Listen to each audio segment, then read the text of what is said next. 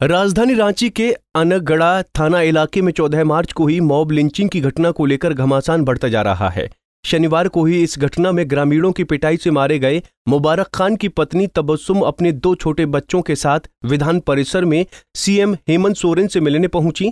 कांग्रेस विधायक इरफान अंसारी भी उनके साथ दिखे और राज्य सरकार से मुबारक खान की पत्नी को 10 लाख रुपया और सरकारी नौकरी सुनिश्चित करने की मांग की। साथ ही आरोपियों को फांसी की सजा देने की मांग की। आँखों में आँसू लिए तबस्सुम ने आरोप लगाया कि घटना के दिन उनके पति को धोखे से बुलाकर मौके पर ले जाया गया था जहाँ उनके पति को बिजली के खंभे में बांधकर पीटा गया। उन्होंने इसे साजिश के तहत की गई हत्या करार दिया और न्याय की मांग की।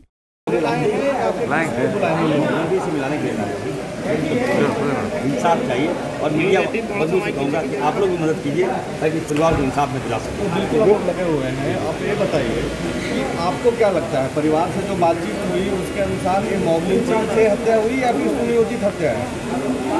अब देखिए हमारा तो बच्चा खो गया। हमारा बच्चा गुम हो गया। बता दें कि रांची के अनगढ़ा स्थित सिरका गाँव में शनिवार आधी रात को ग्रामीणों ने एक युवक को पकड़ा और उसकी जमकर पिटाई कर दी। ग्रामीणों ने युवक पर मोटरसाइकिल का टायर चोरी का आरोप लगाकर उसे इतना मारा कि उसकी मौत हो गई। मृतक की पहचान 26 साल के मुबारक खान के रूप में हुई है। इस मामले में पुलिस ने 11 लोगों को हिरासत में लिया, जिनसे पूछताछ की गई है। रांची से आशुतोष की रिपोर्ट।